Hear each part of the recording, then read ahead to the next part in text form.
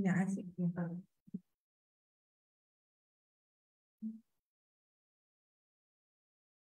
Hmm.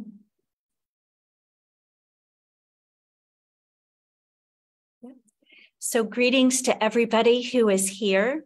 I am so glad to welcome everyone, both our presenters who are here and to all of the participants to this discussion. I am Leslie Alsop. I am an assistant professor at Pediatrics and Women's Health Department at UNT Health Science Center. And I'm a faculty partner for Asthma 411 services at Safer Care Texas, who are our host today. I see this discussion as a celebration. On just May 22nd, legislation was signed that aligns our Texas policy with national best practice recommendations. And in just over three weeks later, we are having a conversation to begin partnering on turning policy into improvements for children with asthma. So first, we'll start with the usual housekeeping. And I am having a screen advance issue here. Um, I am having a screen advance issue, and while that's solved, I'm just going to mention that this is being um, live share uh, screened. Uh, we're recording it as well today, and we will have an opportunity as we go through to enter any questions and comments you have in the Q&A box. Um, of course, the views and the opinions that are expressed by speakers are their own rather than HSC. And with that, I'm going to have the great pleasure of introducing our speakers today. First, we have our national speakers. That is Dr. Lynn Gerald and Dr. Anna Volerman. Um, Dr. Gerald is an assistant vice chancellor for population health science at University of Illinois, Chicago.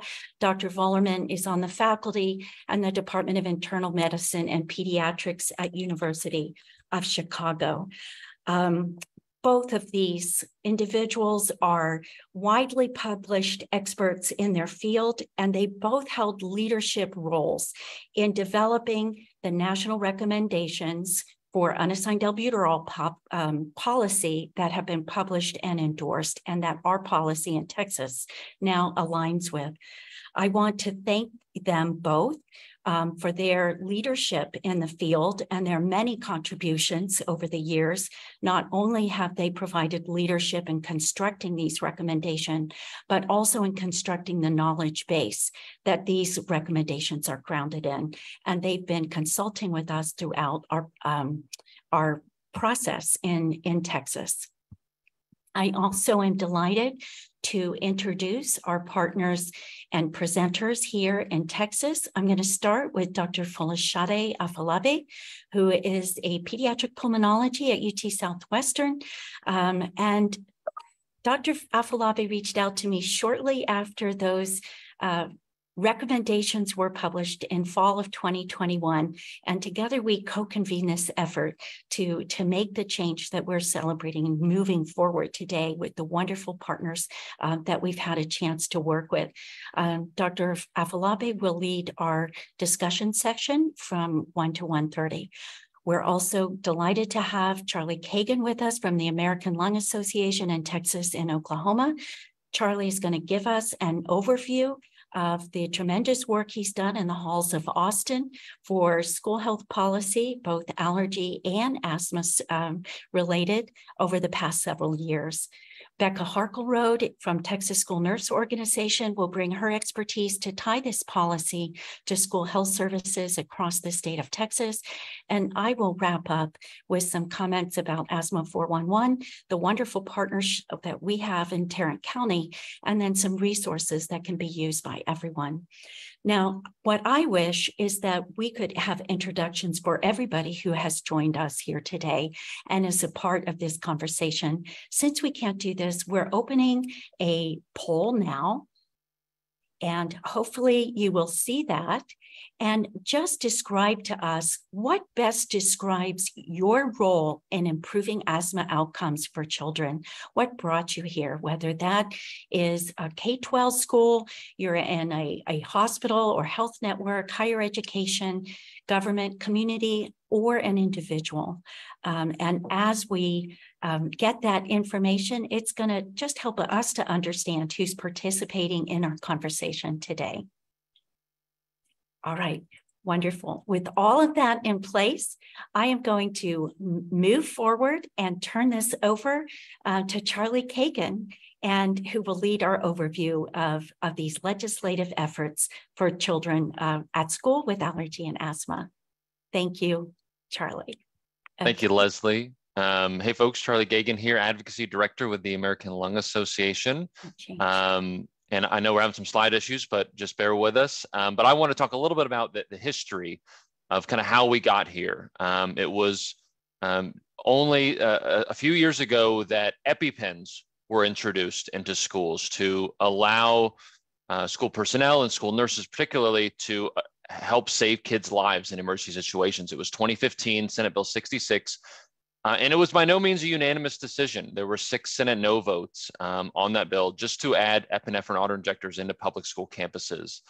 Um, but soon after that policy went into effect, um, lawmakers quickly understood the benefits um, and it quickly became a, a, near unanimous bipartisan effort to help address emergency situations in schools, particularly around kids. And so we saw after 2015, continuous improvements to these laws. So in 2017, um, there was a bill that added private schools to be included um, to have epinephrine auto injectors.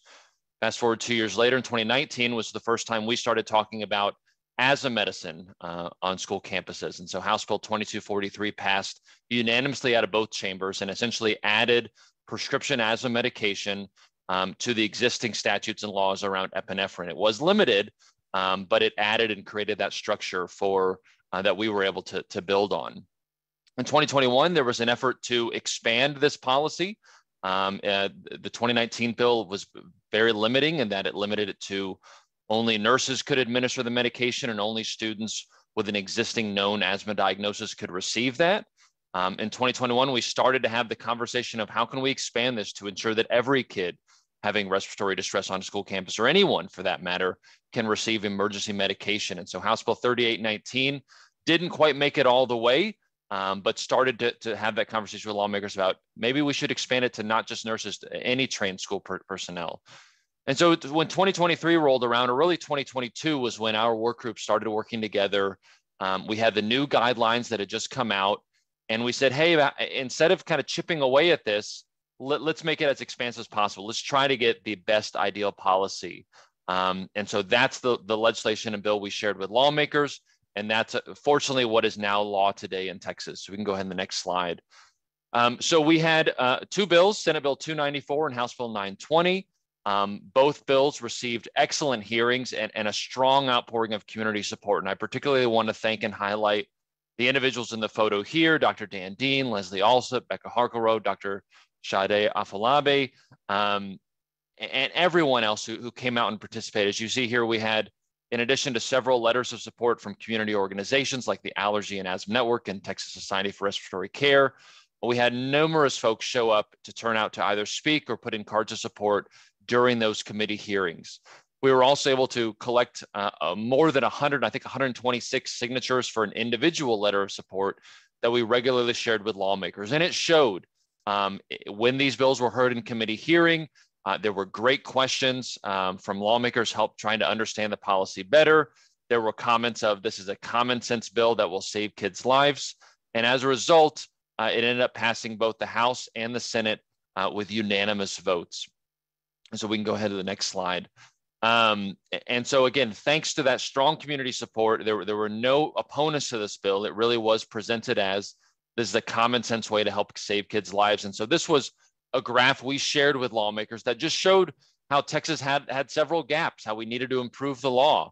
As you can see here, there were four main categories where Texas was lacking uh, when it came to the national standards. This include uh, allowing any student to receive medication, not just those with an asthma diagnosis, uh, restricting it to just students instead of anyone on a school campus, uh, addressing whether only a, a, trained school nurse can administer or any trained personnel, um, and then an issue of permission. You know, did, did the school need to get explicit written permission or could they act in good faith considering these are emergency situations? And I'm pleased to announce that we were able to close all four of these loopholes and Texas now has model policies similar to Illinois, Indiana, and Arizona in terms of the expansiveness of this policy. And so I'll now hand it over to my, my great colleague, Becca Harkleroad with the School Nurse Organization to elaborate further as to what this means for schools. But again, just wanted to thank all of our many collaborators uh, for getting this across the finish line. Thanks, Charlie. My name is Becca Harkleroad. I'm the advocacy chair for Texas School Nurses Organization, and we are just so excited that Senate Bill 294 passed. Like Charlie said, this has been an effort um, going back a long ways. This group started meeting and working together, and we're so excited for the outcome. Um, as you see there, Senate Bill 294 is the bill that passed. And just like Charlie did a great job of explaining what all it does, right? It allows us to administer albuterol, albuterol to anybody with respiratory distress symptoms, regardless of whether or not we have a diagnosis on file, because sometimes what you see in the clinic is somebody who's having respiratory distress but they don't have a diagnosis of asthma and they may not need a diagnosis of asthma. It could be, um, there are a number of other causes, it could be unrelated to. Um, to asthma. It also, like Charlie said, allows us to train non nurse staff to administer stock albuterol. And I think this is really important, not just because the school nurse cannot is sometimes out and we can't find a sub, but more than 10% of counties in Texas don't even have a school nurse anywhere in the county. A lot of those areas are rural. And um, that means also that EMS response times are very long in those areas. And for our schools who don't have a school nurse to at least have this one toolbox tool in their toolbox to just help buy some time um, for those kids until EMS can get there with their response. We're very excited about that. Um, also, it this law will ensure that someone is available during school hours to administer uh, the stock albuterol. And during school hours is either defined as bell to bell or 30 minutes outside of each bell.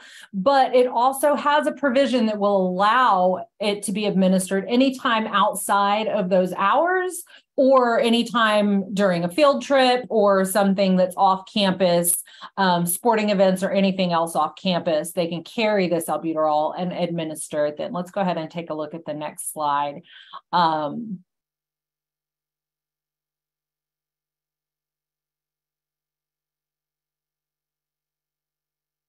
okay, go ahead. Okay, so we've got a bill and it becomes a law. That's great. I'm going to walk you guys through. I don't know if everybody is familiar with the process. So we've gotten from bill to law. I'm not even going to go over that part of what happens at the Capitol.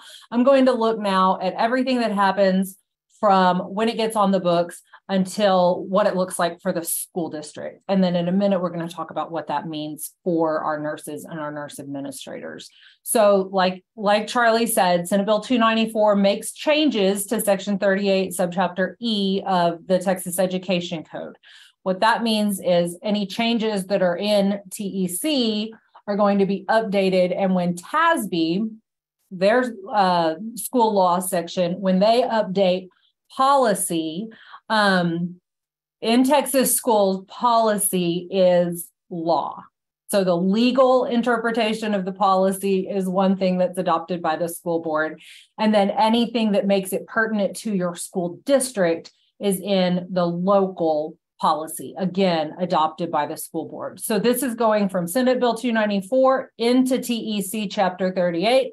Now it will be implemented into uh, school board policy, FFAC.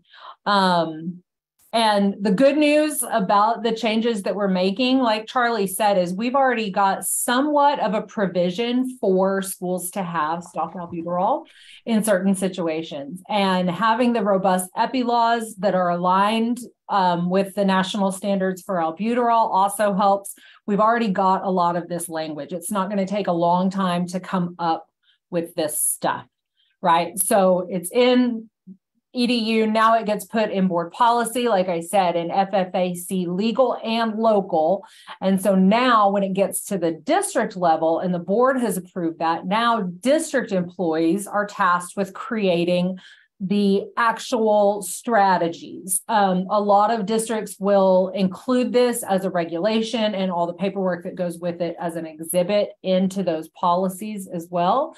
Um, and this is a great this is a great time for schools and school districts to collaborate with each other so nobody is having to start from scratch because these things already exist. These are practices that are already in motion with stock epi and stock albuterol in certain circumstances. So you don't have to start from scratch. There are plenty of resources that can help you with this, um, including things for the implementation, like tra- training components, slides, videos, handouts. There's all kind of great information.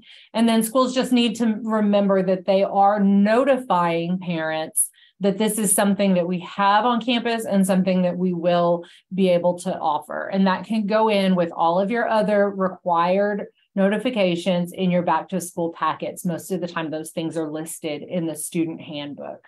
Okay, so now we've looked at the, the laws and where the language goes. Let's go to the next slide and we'll talk about what this means for school nurses and school nurse administrators to actually uh, to actually implement this stuff. So, really and truly, your school nurses can start when the board policy is starting. Have those conversations, collaborate with them, find out when are we going to have a meeting that updates this policy? Do I need to be there? Do you guys have any questions? What are your thoughts on certain things? Right? You also, once it gets there, you're going to already need to be ready to hit the ground running because you're going to need to do training. So it's really important. You decide who are we going to train? Are we going to train by title? Are we going to train by role? Are we going to choose individuals by name? Who are we going to train? What kind of training will it be? Will it be on online, in person, with uh, or online with a an in-person skills follow-up, or the whole thing in person? What are we going to do? When and where? Are we going to do this during back to school? Is it going to be an after school training after school starts?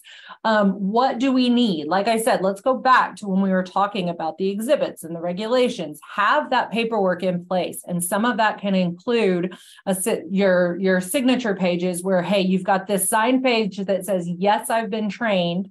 And either at the bottom of that page or on another one, say, yes, I'm aware that this is a law and I'm signing that I'm willing to stand up and do this role, right? So, starting documentation with the training piece. You want to document who's trained and who's agreed to do this.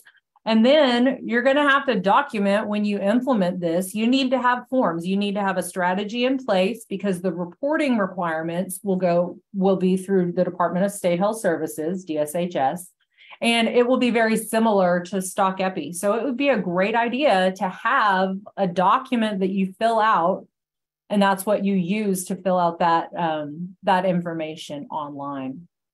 Now another thing that i hope we're going to talk about soon um, and maybe later in the presentation is being able to get your hands on a standing delegation order to have this um, pr- medication prescribed to your school district, unassigned per students, and then to be able to obtain these inhalers and spacers. It's really fascinating the reusable slash disposable spacers um, that are out there now that are actually um, endorsed by the Asthma and Allergy Institutes and Thoracic Society and AAP. Um, I'm not even going to go into nebulizers because I know most schools in Texas have gotten away from nebs because of COVID considerations. And there's an abundance of data and research showing how the, the inhaler with spacer is the preferred way to go for this program. And so we've got our training lined out. We've got our people trained. We've got our documentation ready. We've got our standing order and we've got our products in hand. Now we've got the green light. It's time to implement this program. So your nurse admin and your school district need to make sure that every campus has the tools, the training, and the confidence they need to respond in such a way to prevent a catastrophic emergency on their campus. Um, I'm really excited. I hope that kind of covers from where we started to where we are now. And I am very excited to hand it over to Dr. Volerman um, with my thanks to her and Dr. Gerald for all of their support and input while we were updating our standards to match what they have already gone through and put forth. So I have just stopped sharing and um, thank you so much, Becca and Charlie and Dr. Volerman. We'll look forward to um, hearing from you and uh, Dr. Gerald uh, with this national perspective and expertise. Thank you. Awesome. Thank you for having me.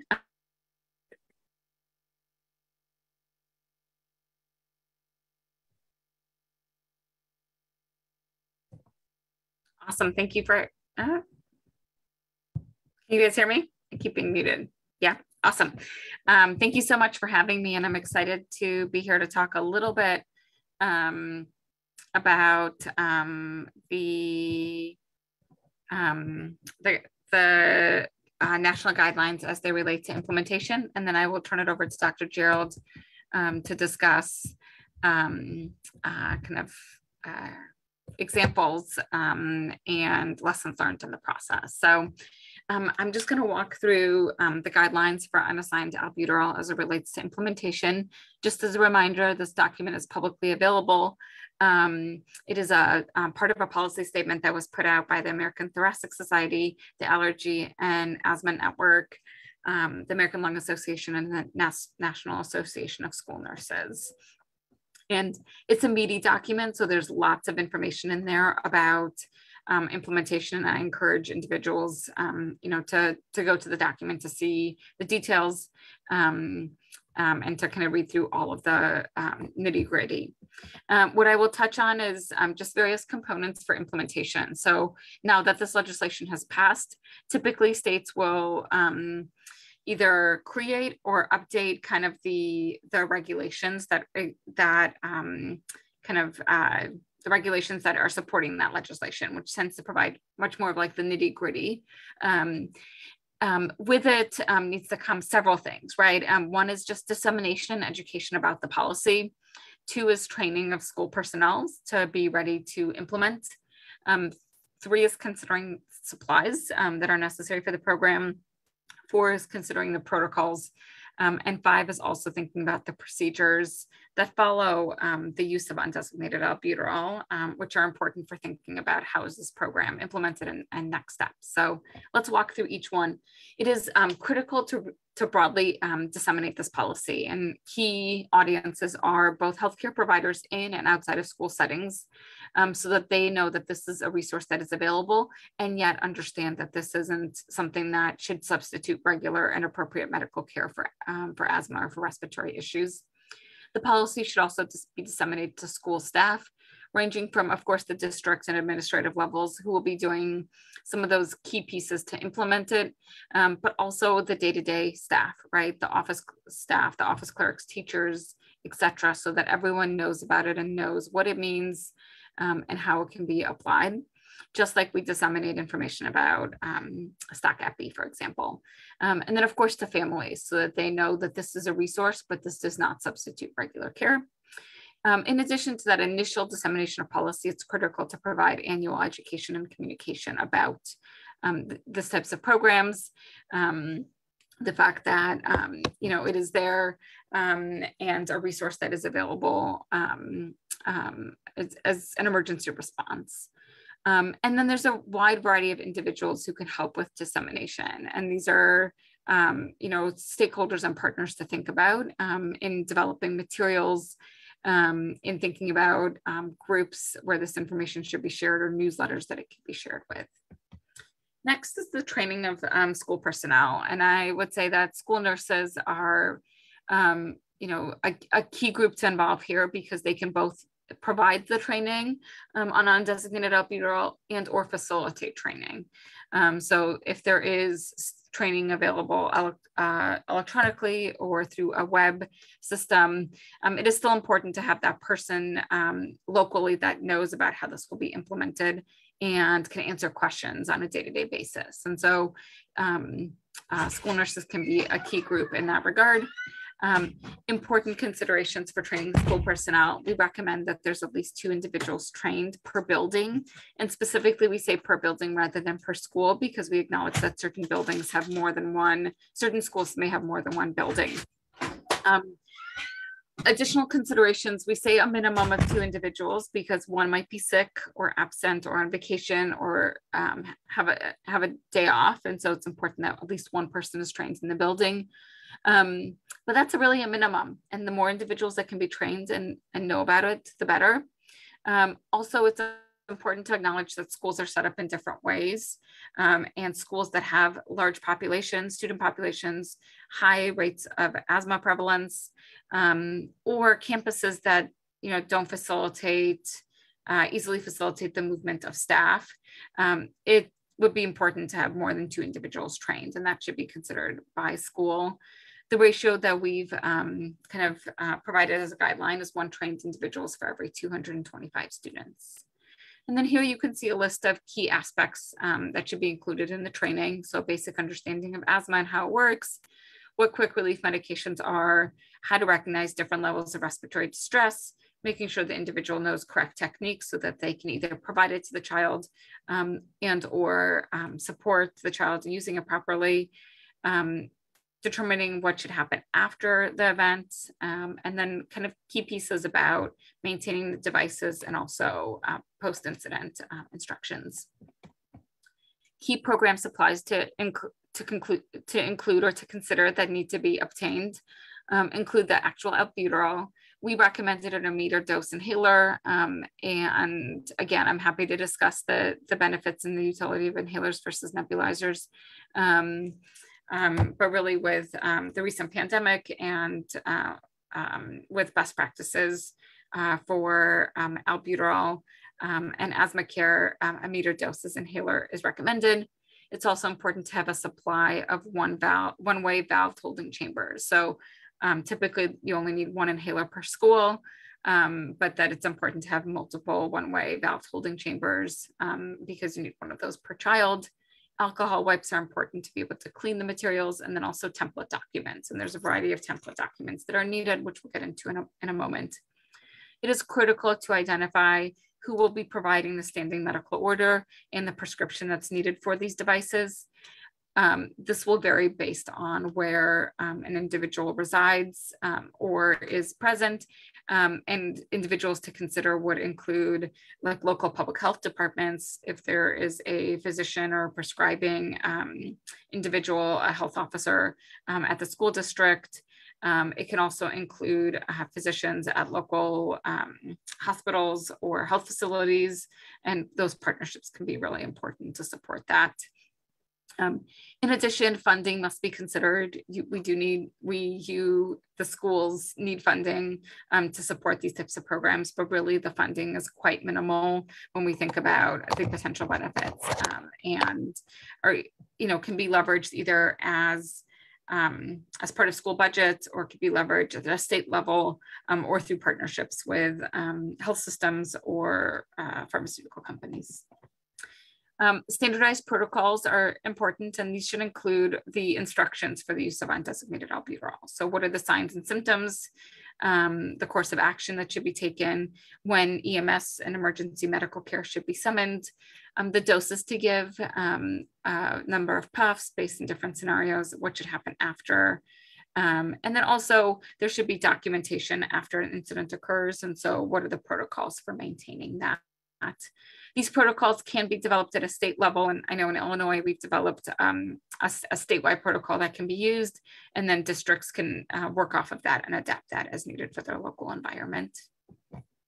Um, additional documents beyond the standardized protocol to consider would be just an instruction sheet about the implementation, um, template letters to use for communication, both at the, at the staff level, but also the, with families, um, it's often helpful to have an immediate resource with directions and graphics about how to use um, uh, meter dose inhalers effectively, any documentation forms or logs that need to be completed afterwards, um, as well as we recommend a copy of um, having the, the regulation um, or and the, the law, the statute readily available.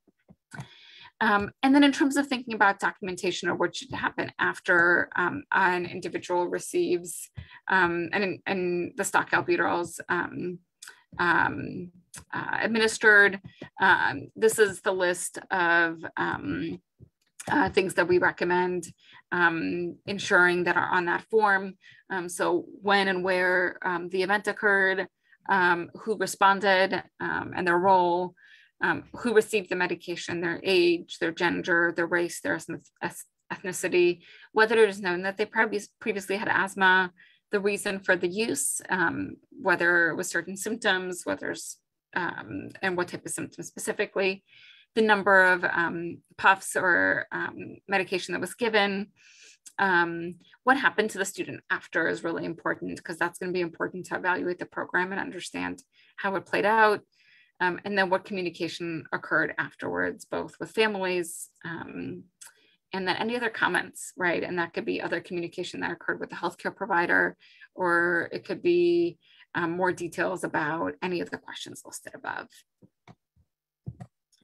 Um, some additional considerations, and this will be really based and related to the state policy, is um, you know, will there be different approaches if if the if the state legislation is supports undesignated albuterol for children only versus children and adults?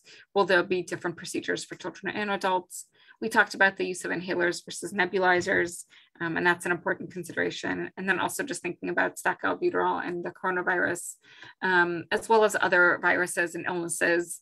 Um, and, and that's part of the recommendation for the um, inhaler, but also just thinking about um, you know, um, minimizing any sort of infectious um, uh, aspects uh, that may occur.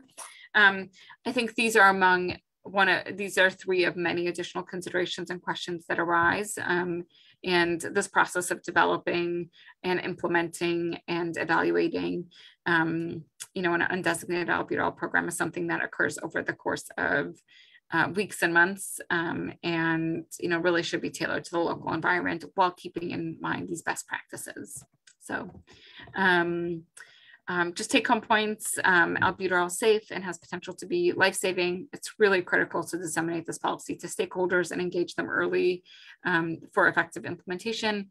Um, and that funding really should be considered along with all the uh, necessary pieces in terms of supplies and documents to ensure success um, and I will stop share there and turn it over to Dr. Gerald uh, for the next piece of um, implementation.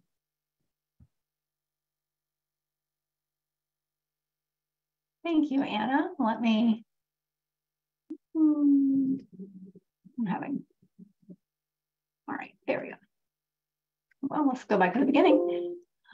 All right, Thank you, uh, Dr. Volerman, for uh, presenting the guidelines. Um, I just want to congratulate your team that really has been leading this effort. You know, Leslie and Charlie and Sade and Becca. Um, I mean, this is amazing that you've been able to adapt the legislation to get it in line with the guidelines and do so so quickly. And I will say we have seen success around the country with these programs, and it's really it's saving lives, but even more so, it's improving quality of life for children because most of these children that get um, stock albuterol at school are able to go right back to the classroom. So it's really making a huge difference.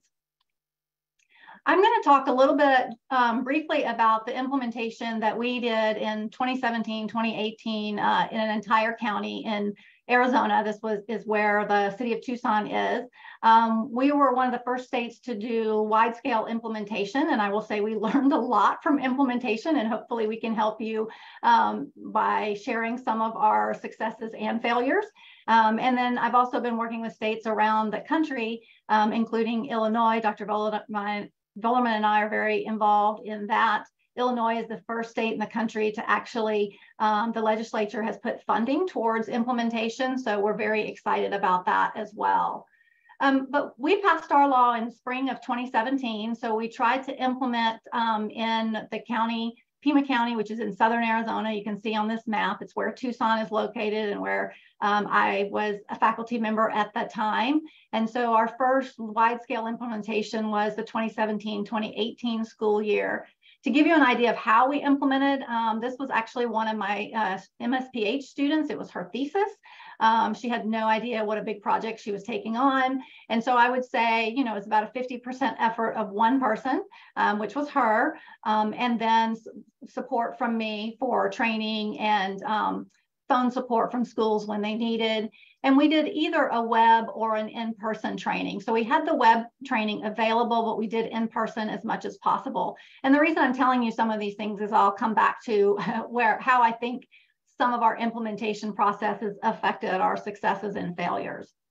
So we have 339 schools in this county and we were able to enroll 229, so about 68% of them. And you can see that we um, got most of our public schools to participate and then fewer charter and private schools. Um, basically, it's just a, a, lot more difficult to outreach these organizations because um, they're more individualized, whereas, you know, we could reach out to one district and get, you know, 25 schools.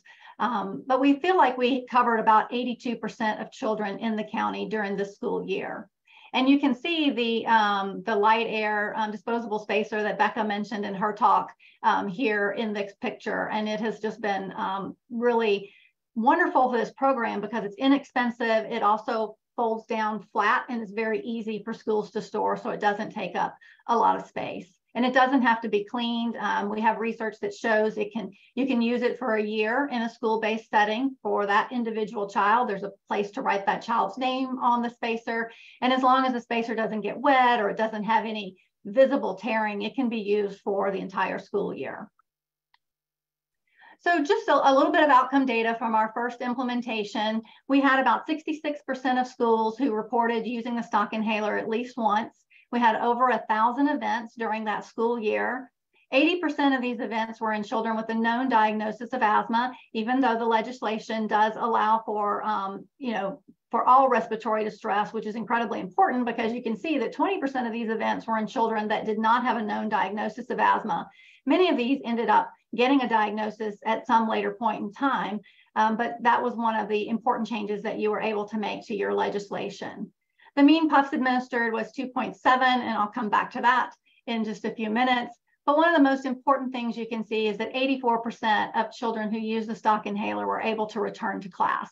So this is a huge improvement in quality of life you know, our school health staff will tell you that prior to the stock inhaler program, if a child had respiratory distress and they they didn't have to have a personal inhaler, the only thing they could do was call 911 if it was bad enough, or call the parent to come and get the child. So this is really um, an important um, and impactful program for children. There were about seven and a half events per 1,000 students. So, you know, a pretty high rate of events. The event rates were not higher among any age group or any type of school. Um, the only thing we saw that was different among schools was that younger children were more likely to be sent home after using the stock inhaler. And we can, you know, after talking to parents and children, we think that this is um, mainly because um, it's obviously respiratory distress is a very scary event. Um, it's even more scary for young children who, uh, you know, are not as used to having asthma attacks. It's also very scary for their parents. And then occasionally with a large dose of albuterol, the children would be a little bit jittery and um, would need to go home. But um, overall, as you saw, most children were able to go back to class. And as Dr. Volerman mentioned, the cost per school um, for us were $156 per school, but that includes the cost of our 50% program coordinator. So that was really the largest cost. So an individual school should be able to do this for about $85 um, of cost to the school. So what were some of the things that we learned or some of the implications for implementation after this first year? So Dr. Volerman talked about how the guidelines now talk about the importance of disseminating this policy to everybody. And I think this is one of the things that we learned the hard way. Um, you know, when a new law passes, it takes a long time for people to learn about that law. And so I want to talk about three groups uh, specifically that you should probably focus on trying to get some information about the law out that caused um, some issues for us. Um, first of all, lack of knowledge among primary care practitioners or anybody who treats children with asthma. So we had several instances where the school health staff um, treated the child appropriately with albuterol um, at school, and then the parent ended up following up with their physician. In, in one case, this was a child that didn't have a diagnosis of asthma.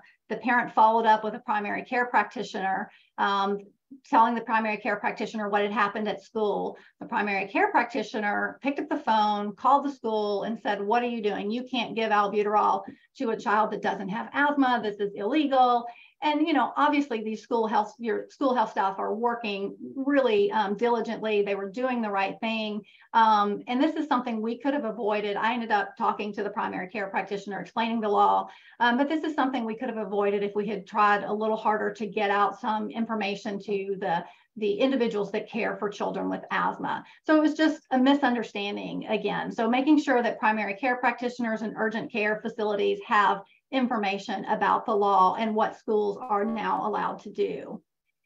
We also found the same issues with uh, lack of knowledge among our EMS providers. We had an issue when 911 was called to the school for respiratory distress for a child that had asthma, and the school had given um, a significant amount of albuterol per protocol. They had done everything correctly, but they were fussed at by the EMS providers because the EMS providers were not aware of the law.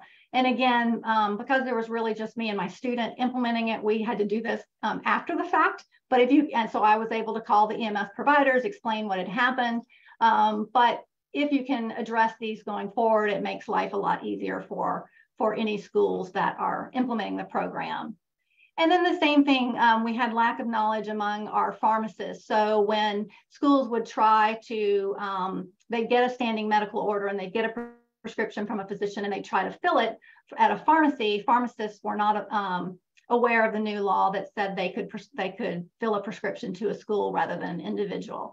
So again, this is why the guidelines now recommend trying to disseminate this information as much as possible. I don't want this in any way to scare you from implementation because you know you're you're learning about the law and exactly what should be done and you have resources on this panel who can can help you out if you run into any trouble. But if we can work to um, get this information out prior to implementation, it certainly will save you some some headache. I also wanted to talk about um, another thing that we did with our data is we looked at um, where um, these schools were located and how much they use the inhaler to try to determine whether uh, this metric, which is called an area deprivation index, which ranks neighborhoods by their socioeconomic status and disadvantage. We tried to see whether schools who were in these um, very disadvantaged areas were more likely to use the stock inhaler than schools that were not. And we've used the school address and census block to determine this ADI measure for each school. This is a standard measure that's available um, at this website um, and is put together by um, HRSA and the University of uh, Wisconsin. The Center for Disease Control and Prevention has a very um, similar measure that could be used, but we um, chose to use this one. And when we did this analysis, we used our same population for that, that year. We had 228 schools that we looked at. And you can see the percentage of schools in each ADI quarter. So this, these are the schools that had the, the most or the greatest deprivation, meaning they were the lowest socioeconomic status, 17% of schools. Then we had 31% in the moderate deprivation, 25% low uh, deprivation, and 28%, which would be considered kind of higher income schools. So a pretty good distribution of schools in our area. But what we found is that schools that were in this moderate deprivation quartile were about two times more likely to report using the stock inhaler, and they used it two times more frequently. So this was a little surprising to us because we really thought that maybe if it was going to be used more frequently, it might be in this lowest income uh, quartile, but it, it was not. It was in this. And so after going back and talking to the schools, some of the things that we found is that you know, families in these lower income schools were more likely to be eligible for state sponsored insurance like Medicaid, um, and they were more able to get a second inhaler um, to come to school. Uh, to, to bring to school, but it was really these families in this moderate deprivation area where they had they might have to rely on private insurance, but they had high copays and high out-of-pocket costs, which really um, decreased their access to an inhaler, particularly a second one for school. So, you know, it wasn't the lowest income, but actually, you know, what we would call more working class individuals, but who are struggling with high copays. And why is this important? Well, I've been thinking about how to implement and where to start with implementation. Um, you know, health equity and health, health justice remains an important priority for school-based programs. in some states, Illinois being one of those states, are choosing to start implementation in school districts with the highest rates of asthma or in these areas of high deprivation um, just for these reasons because they realize that these may be some of the schools that have the highest need. Um, I'm a strong advocate that um, stock inhalers benefit every child, no matter whether they're rural, urban, high income, low income. I was the um, band booster president for four years at um, um, my, one my son's school, and it's a, a high income district, but we benefited greatly from the stock inhaler because even though most of these kids had a second inhaler, when they actually had an asthma attack during band practice, that inhaler might have been two miles away on a bus where from where we were practicing, it might be in the locker room. And so having the stock inhaler, I think benefits all kids. But if you're having to make choices in terms of as a state, where to start with implementation, you know, this is something that you could consider. Um, Dr. Volerman talked about the standing orders or the protocols.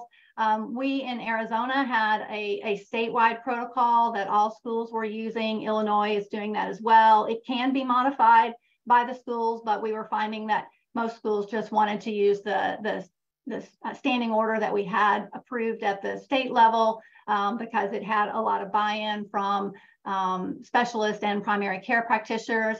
And this, our protocol called for four actuations or four puffs for mild to moderate respiratory distress, and then eight puffs for severe respiratory distress. We didn't use the range that you normally see of like two to four or four to eight um, because we um, had very few nurses in our schools and we found that the range was very confusing for our non-licensed personnel. They were like, well, what does that mean? Do I get two? Do I get three? Do I get four? I, am not sure. And so because albuterol is so incredibly safe, um, we erred on the side of more actuations rather than fewer. So this is our, our protocol, and that will be, become important in a minute when I show you some of our data.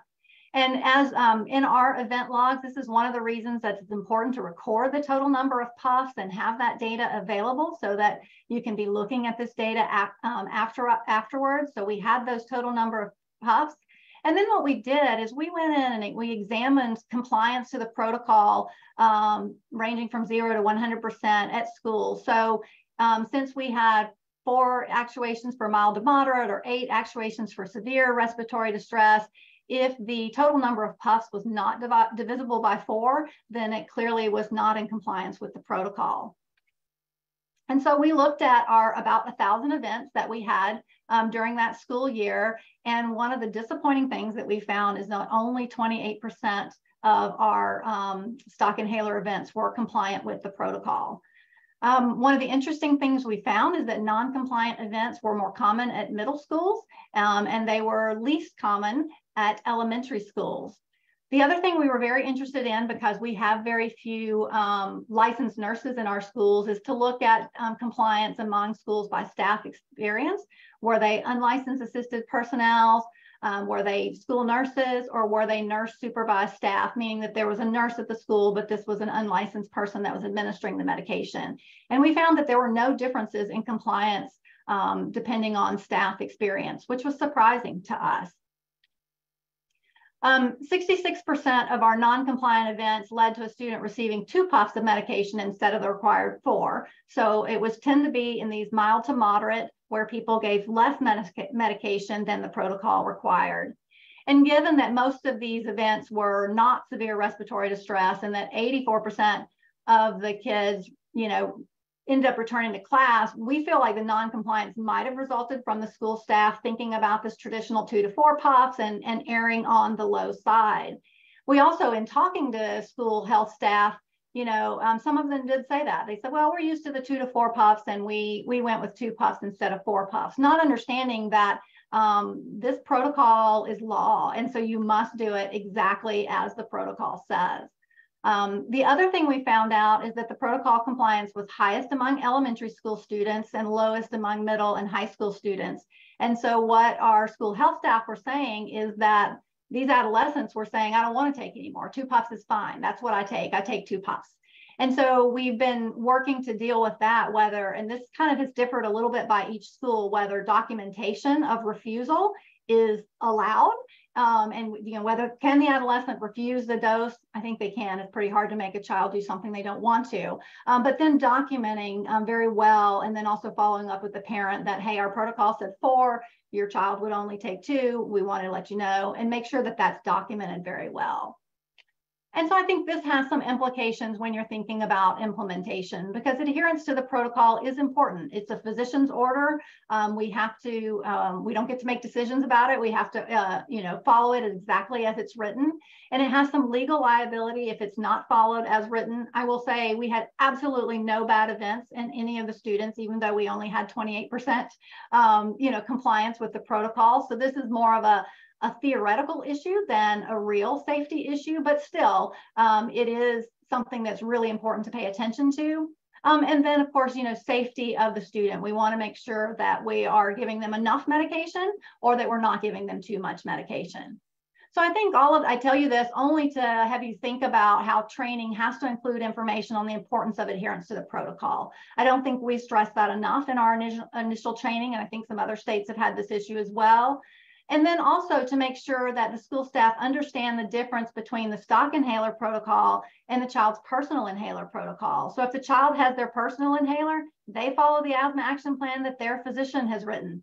But if they're using the stock inhaler, they have to follow the stock inhaler protocol, no matter what that child's personal asthma action plan says, because the um, the prescription and the protocol for the stock inhaler um, follows that standing order. So they may be different. And that was a little confusing, I think, for staff at first before we explained that, you know, one protocol goes with one inhaler.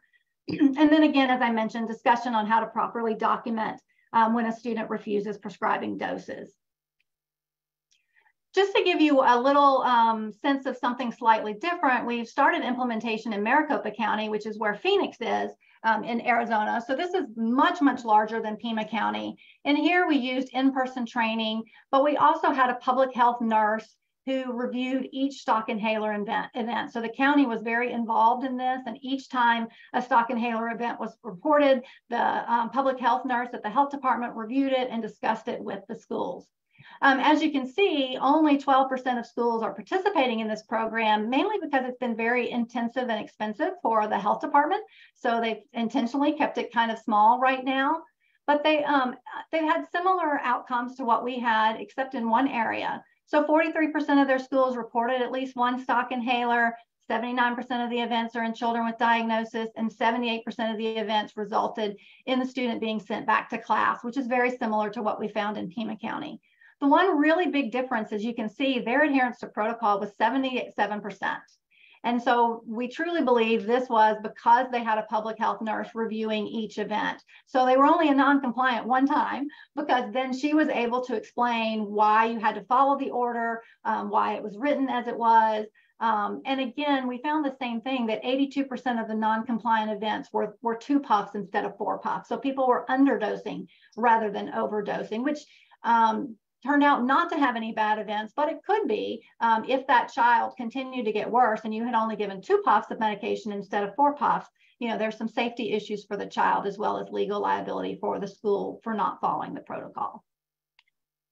So kind of in conclusion, just thinking about implementation strategies that I've seen um, across the uh, across the US, there's just the online toolkit where you put everything online and you make it known to schools that it's available. Um, we've seen very low adoption with this because it takes a lot of um, energy for schools to get started and they really need some help getting started. There's really no data on fidelity to the protocol. I would imagine it would be relatively low, but it is low cost. It's one way to do things. You put it out there and you say, this exists, um, go for it, schools. But we've seen very, very low adoption that way. The other way is kind of a, a medium, um, you know, um, approach, which we did in, in the Tucson or Pima County area, which is to have the online toolkit and then provide either web-based or in-person training. This leads to pretty high program adoption when we uh, provide training, um, but we found that we had low fidelity to the protocol. So I, I'm hoping that our training is now better and maybe that our, our fidelity to the protocol or you know following the protocol is going to be better um, but you know that remains to be seen we don't have data on that yet and it's kind of in the medium cost area And then I say, you know, a higher cost approach would be what um, the Maricopa County or Phoenix is doing. They have the toolkit, they have the training, um, but then they have this coaching that happens after each stock inhaler event. Um, they, they've had very low adoption because it's been expensive for them to do, but they have very high fidelity to the protocol because it's very costly. I really believe that this somewhere in the middle is the way to go and that we've just learned now how to better do education.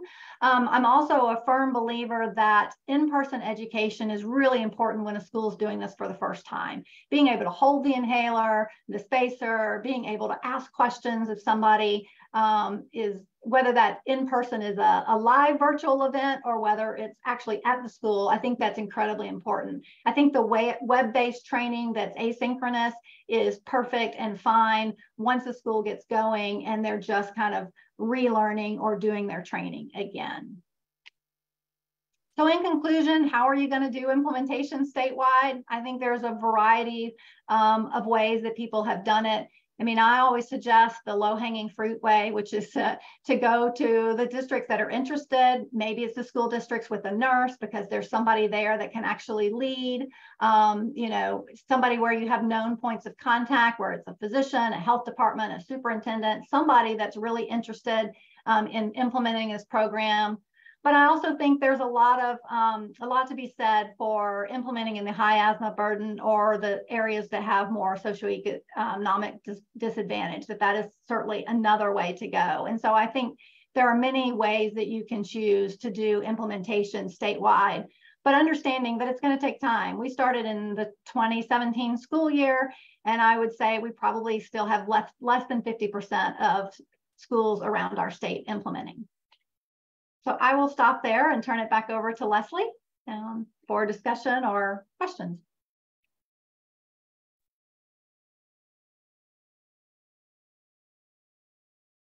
You're still muted, Leslie. Yeah, got it. And um, I'm going to go ahead and advance on through here. And I am going to spend some time before we go into the questions um, talking about what we've been doing up in um, Tarrant County and the Asthma 411 initiative there. Um, I want to mention a little bit that we go back with the unassigned albuterol in a framework to improve asthma outcomes that really goes back, and, and this draws on experience that goes back to 2002. And when we look at this period, of course, a ton of things have changed. And there's a few things that haven't changed as well. So when we got started, um, or when this model got started, it was about the CDC recognizing that best practices in asthma management were great, but they were really hard um, to implement com comprehensively. And I think put it in the things that haven't changed bucket. Um, they started with a conversation with school nurses in St. Louis and said, What do you most need to make this happen? And the school nurses said, you know, we're working with asthma action plans, we're working with asthma uh, education, and we don't have the bandwidth. Another thing that hasn't changed.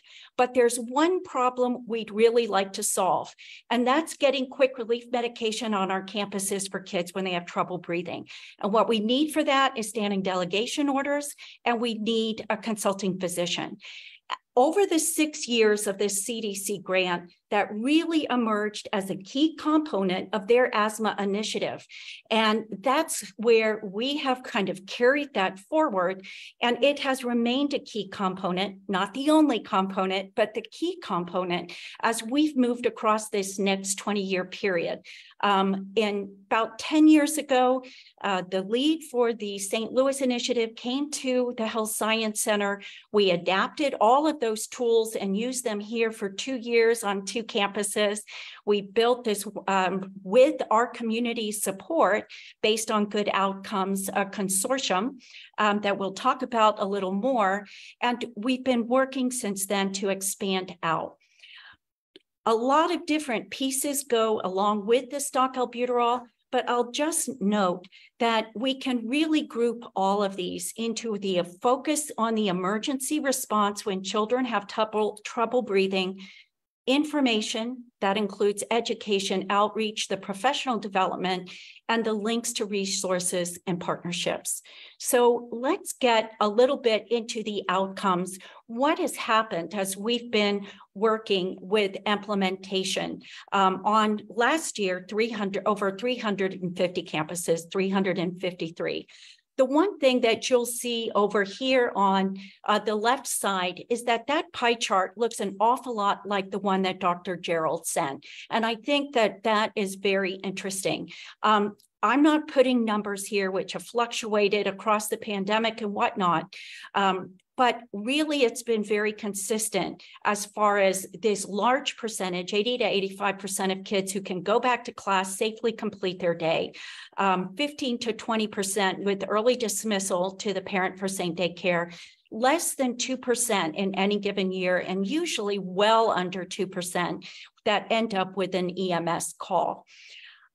So what do we do with some of that information? I'm, I have on our right side a few ways to think about that, both for your district and for engaging support around this concept. The first is that I've taken our most recent numbers and tried to generate best estimates on best available um, impacts of, of doing this within the school system. And I'd be happy to talk to folks about that methodology and see how we can um, further improve that. But we can estimate last that in 21, 22, there were 3,375 additional instructional hours provided because of those children who could go back and safely complete their day.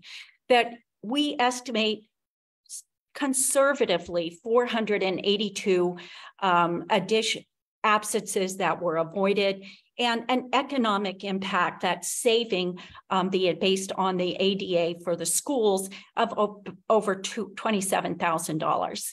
Um, reducing the school day asthma related EMS, again, using that 20% number, which is our best available ev evidence um, from Dr. Gerald. We estimate 230 reduced EMS calls and $345,000, and then a very conservative estimate on how this may have benefited um, families in the workplace in terms of reducing work absences bottom line economic impact of $446,000. Now, that far outweighs when we look at what is the actual cost and supplies about 50 to 60 dollars per campus um, per year. Um, again that's not the coordination and the effort with that. Um, but clearly, if we could have a tiny fraction of this uh, go back to school health services and support, uh, we would be able to cover this very nicely. Now, I wish we could do that. We can't. But what we can do is share this information with those stakeholders in the community that can bring those resources where they need to be. So bring those instructional hours and absence days into your school administrators can make a huge difference in our beginning years, we were also able to get academic outcomes and we could show them that with their students and their test scores there was a 3 to 5% increased odds of failing grade level standards with every one of those absence days. Now they know that's an academic risk but seeing it in their students engage them in a very different way We've also brought this to some of our local officials and elected officials. Um, judge Glen Whitley was our county judge, and it was very powerful in engaging him to build our collaboration. We also do an annual nursing survey at the end of every year, and I'll bring in some information from 21 22. We're not quite ready with the new year. Um, we get about an 80% response rate, and we are so grateful for every nurse that responds because we try to improve our programs every year based on that feedback overwhelmingly people are satisfied and describe the program as manageable or very manageable. And the majority of these are very satisfied, very manageable. I don't have the qualitative comments here, but so many nurses have said this has been a tremendous benefit. I wish it was available for every school. Um, it's gone down a little bit as the requirements for documentation uh, have gotten more burdensome. And we can see that when we ask about challenges, number one challenge is completing the documentation. Um, the second one is the difficulty connecting with parents. And we know that's tough um, because when you're starting to work with those parents, you're starting to get into that very difficult issue of why don't all the kids have what they need? Um, and that's a really hard problem to solve. The one thing I'll say about the documentation, we've worked on tools to streamline this and make it as easy as possible, though it's still hard. Um, one of the one the one small thing with this last legislative session i wish had been a little different is that documentation was moved from the rules and the administrative code into the legislation. I want to assure my partners in tarrant county those hardworking nurses that was not my idea um, nor was it on anybody else's who is part of this team. And if there's something we may need to go back to and try to address it's that a last point I'll make because we have some people as they implement ask, are parents going to be okay with this or are they going to be um, unhappy that for somebody was giving them this medication? Everybody who says that they receive feedback have said that it's positive. Um, again, the few people that say positive instead of very positive are, as we've moved um, away from nebulizers, there's parents who want a nebulizer instead, and we no longer make that. And we have parents who say, do you really need to contact me every single time this is used? And the answer is, well, yes, we do. Um, so let's go forward. I want to say, how can we make this happen for 350 um, school campuses? Well, by not doing it alone. It's been by our partnership. And as I mentioned, um, our county judge stepped forward when he saw the outcomes of a pilot program and brought us all together. So we have our partners here, Cook Children's and JPS, that will speak briefly um, at the end. They've done a fantastic job, all of us really working together. And it's been such a joy and a privilege to see this emerge. Cook Children's within our service area and those who have been able to, uh, willing to sign um, a memorandum of understanding for evaluation purposes has been providing the medication supplies and pharmacy and an annual professional development symposium that's available to everyone. In fact, their general school nurse uh, symposium, I believe, is tomorrow, and you could probably still sign up for that on their website. But they also annually provide one specifically for school asthma. JPS has done a wonderful job. When the question was uh, came up, what do we do if we don't have a consulting physician? JPS stepped forward and, and Dr. Jay Haynes and Dr. Shelley Sexton um, now have said, yes, we will step into that role. And not only signing those standing delegation orders, but finding, forming um, a medical advisory council now that has two pediatricians from each of our three institutions that review annually best available evidence, what's changed and come up, and what are our outcomes. And then Safer Care Texas with some tailored implementation um, support and tools, which is what I'm going to talk about now. I'm going to just speak for a second, and then I'm going to ask um, our communication manager to actually go to the website. I know we're going over one o'clock, uh, but we're in our question and answer, and I just want to take a few moments here.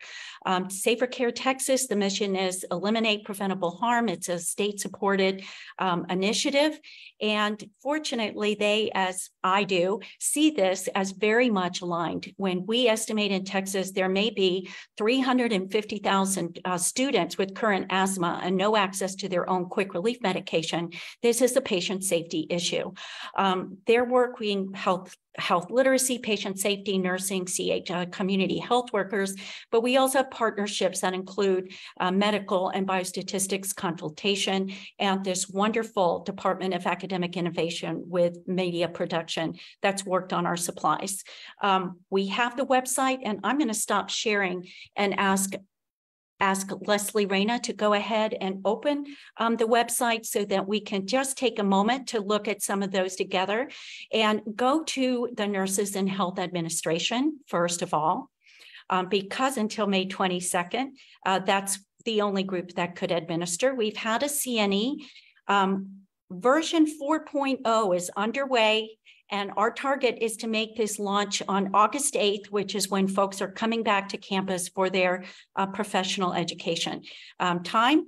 And go on down to, we divide our resources into these three big buckets here administering the recommendations, the follow-up and documentation, and general asthma emergencies. Please start first with administering quick relief medicines. Terrific.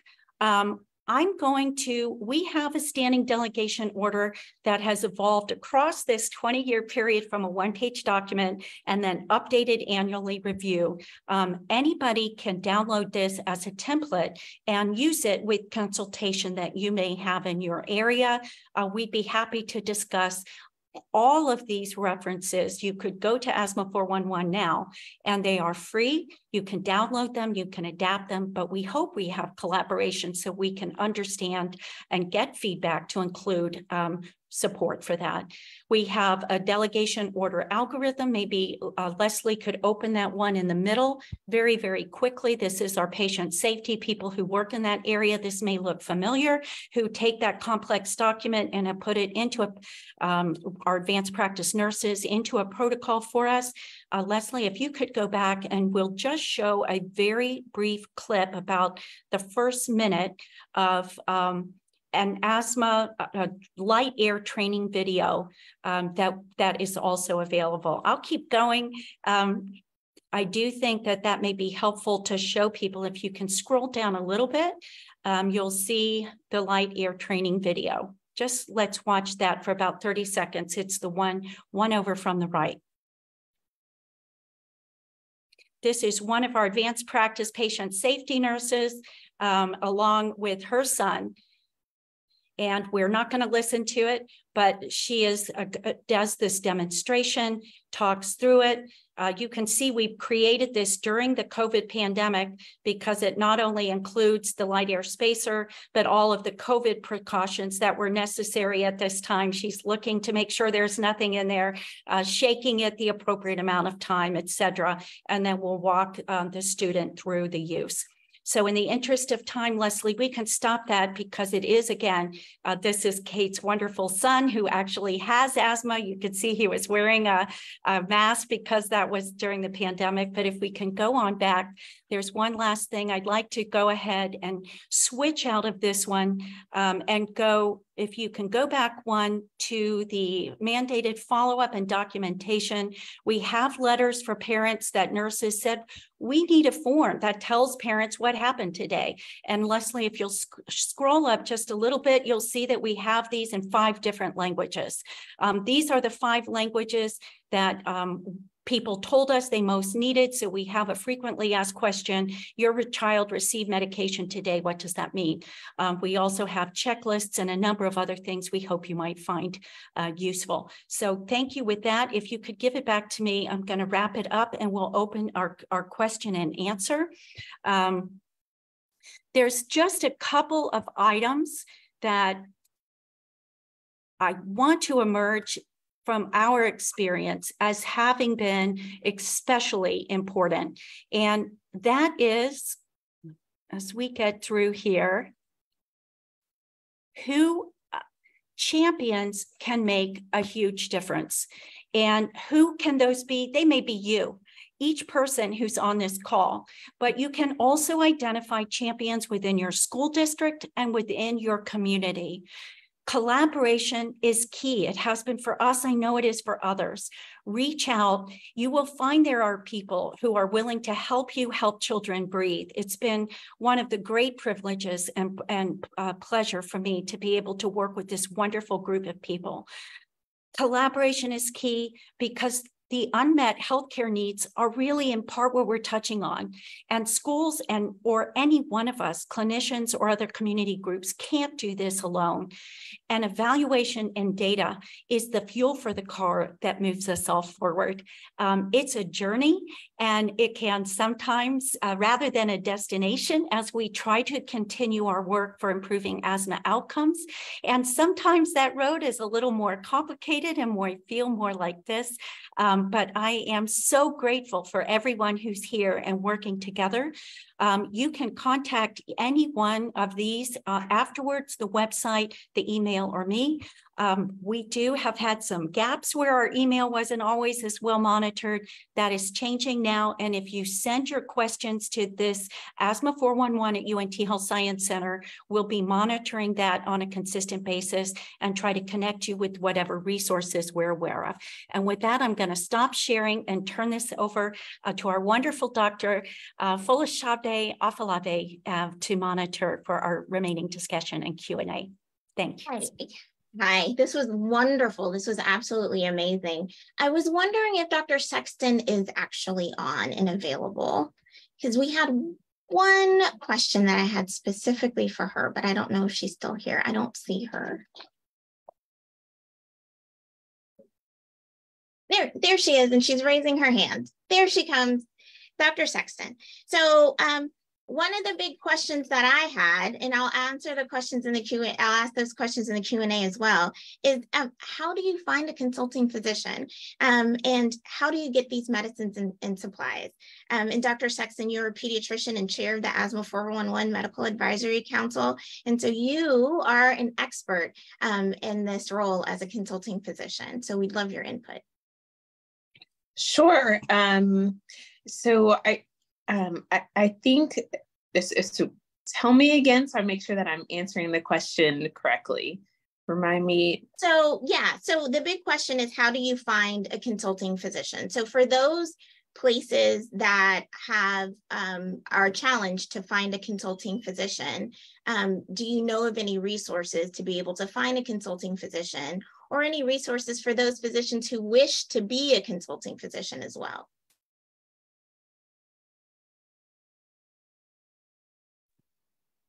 I'm, I'm letting myself be be seen.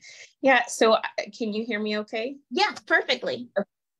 Yeah, I, I think it's a lot easier than that it can seem, um, especially from the, you know, being a perspective if I was a school nurse or even a concerned parent um, and, you know, with my school district, whether that's, you know, going going to a public school or private schools, I think really just being um, being willing to ask the question. Um, you know, I'm on forums, I'm a mom myself, I've got four kiddos. Um, and, you know, I, I, you know, I, we're on social media too. We, we know we're all human, you know, human beings, and um, there are moms that are out there serving as consulting physicians for their kids, you know private schools for their their kiddos as local um, school district. Um, you know reaching out to, to to the resources that are you know closest or even most familiar. And you you um, I think the language that we were saying is you might be surprised at how actually excited and and uh, we would um, we feel you know a sense of uh, belonging and responsibility, and it's it's quite an honor to to be involved in the process. the med- go ahead. No, sorry, you touched on the medication question and how and how does all of that work? Um, and I think Dr. Gerald touched on that as well. Um, you know, does your lo- is your local pharmacy aware of uh, you know statutes and um, and I think that you know for us, you know, I was so fortunate to already be you know a, a part of a collaborative program where you know Cooks has been so generous to um, to provide those resources for us and um, as well as uh, personnel and support to make all of those steps happen. Um, but it it also it doesn't have to be that complicated either. Um, you know, I live in Granbury. Okay, so if you're familiar with Texas, it's not it's not the tiniest town, but it's also not the biggest. And we've got local pharmacies, and you know, and and those pharmacists they have kids too. And I think just it, there's a lot of power in in a conversation um, and i think sometimes in the digital age we we at times forget that. But yeah just just uh, taking the ask and um and then as leslie communicated um you know, getting grassroots um stakeholder you know people involved who is in your who is in your area that um you know that has an interest you know whether that's one of the um, you know, you know, whether that's a local lesion group, you know, who's in your area that you know is in is investing right. in the community sometimes they're just looking for money to give away. And we just don't know about it. So but in any case that's that's where i would start that's really, really helpful looking um, to those people that are close by and just asking the questions to those invested people um, in your local area to make this happen. And speaking of the resources that are available um, in Fort Worth, um, I wanted to talk to um, Dr. Bernard, who is a director of child wellness at Cook Children's Health um, Healthcare System. And your system um, at this point seems to provide quite a few resources. So I was hoping you could talk a little bit um, about how Cooks came to the decision to provide those resources and how operationally that works. Sure. So thank you so much for having us here. Um, it's been a pleasure working with Leslie and um, the Health Science Center on this um, consortium over the past several years. Um, and um, Cook came to the table before I was um, in this role and involved. but as part of that collaborative process, you know, Judge Whitley convened Cook uh, Children's, who's always been wanting to give back to the community. Um, uh, he convened our department, which is our community outreach department, essentially, of our healthcare system. Uh, so we are already primed um, to look for those opportunities to improve children's health out in the community. Uh, but they knew we had a retail pharmacy um, and folks who understand that there are these larger community needs um, that we all need to address together. Uh, so Cook was on board from the beginning, um, to my understanding. And um, at the time I came on, I am I, I was part of some conversations where they engaged with our pharmacy um, leaders in our risk management um, and our other physician champions and advisors uh, to make sure they all knew and understood that yes this is a thing that happens this is the law this is the best practices. So those conversations started up front. So um, and that really helped i think um, with any resistance or hesitancy um, from our organization as a whole to participate uh, because once people heard that they were on board and oh yes of course uh, once they knew that all these protocols and um, regulations were in place. Uh, so since then, our pharmacy um, works closely with Dr. Sexton and the other consulting physicians as they sign the standing delegated orders and write the prescriptions for the stock medication. That goes straight to our pharmacy. Uh, and then our pharmacy fills it and um, unbeknownst to me, even they have budget line items for um, community work like this. So again, you never know until you ask where where money might be living. Um, but our pharmacy uh, will fill those prescriptions. Um, before COVID, we also worked with our home health department with for nebulizers and the masks and tubing, um, all of that. Uh, and then um, we're we're fortunate that my team um, within the Center for Community Health is able to then um, take those medication and supplies from our pharmacy and then hand deliver them to each of our districts. Uh, and then those get disseminated by district as they need to. Um, in addition to the medication and supplies, you saw also um, we work with our education department to provide annual in-service for school health staff around school asthma care. We do this in partnership with um, the other folks on the consortium to figure out what um, topics and get the right speakers because we all have um, um phenomenal content experts to bring to the table. So um, we we make sure that in addition to the standard training that happens at the beginning of every school year, that um, Dr. Alsop's team manages uh, for the participating districts, we have this annual staff development as a supplement to enhance. Sounds like a wonderful program that really is providing a valuable resource, um, not only in the physical medications that are needed, but in that that key component of education.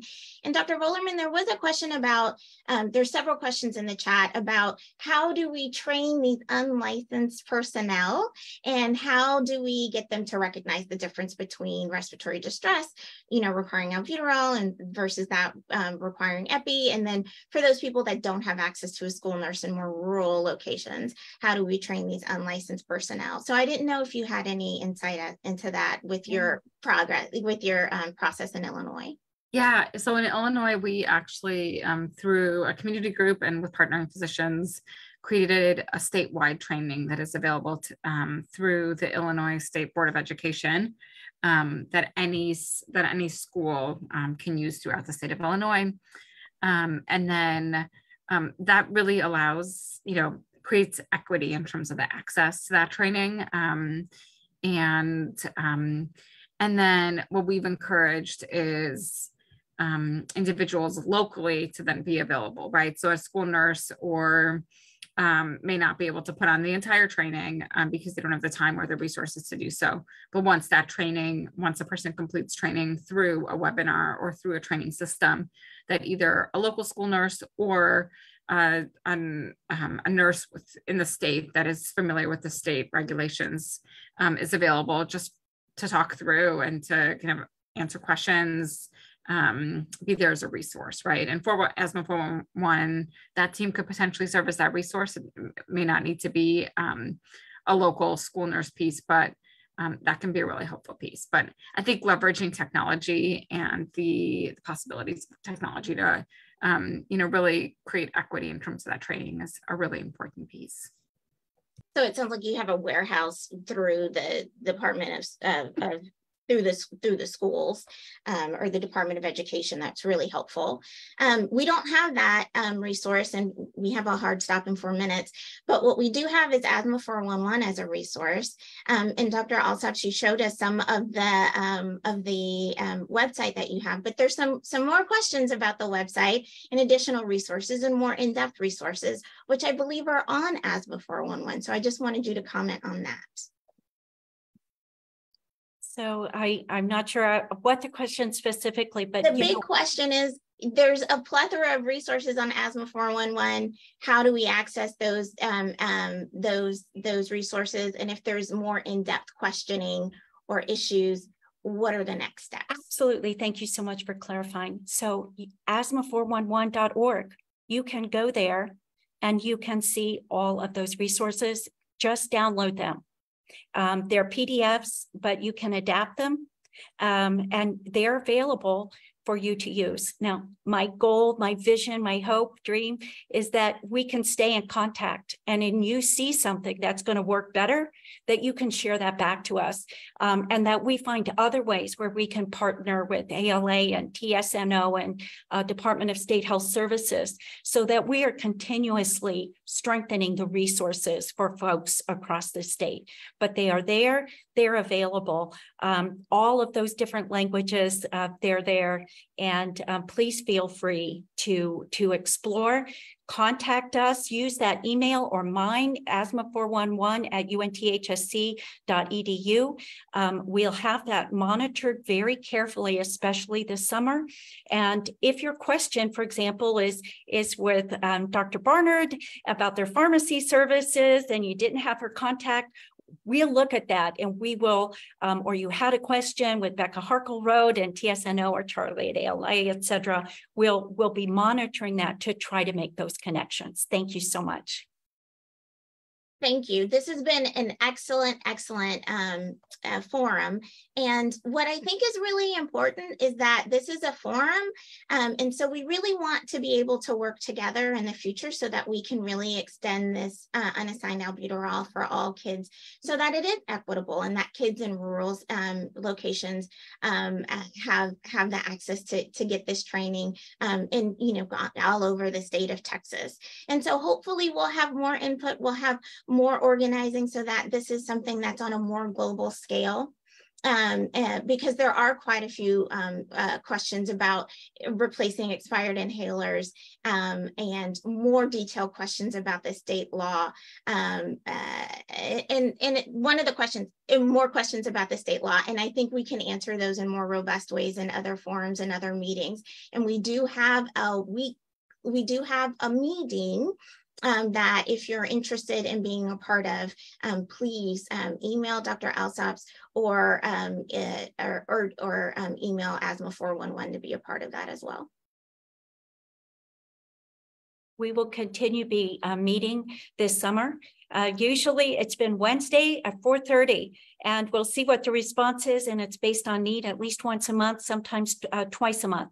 So please let us know if you're interested in joining that conversation. That's where we're going to go forward and see how can we best mobilize uh, resources to support um, dissemination of unassigned albuterol, but also to, um, to support uh, improved asthma outcomes for children. I'm so grateful for everybody. We know that it's 1.30 and we're going to wrap it up. Um, our communications manager may just post two last polls that if you are choose to, you can answer on your way out. But other than that, we'll close our, our uh, forum today with a huge thank you uh, to all of our speakers, all of our presenters, and all of those who have worked on the initiative, all of you who have made the time today to join us and to work every day uh, to improve the health of children. Thank you.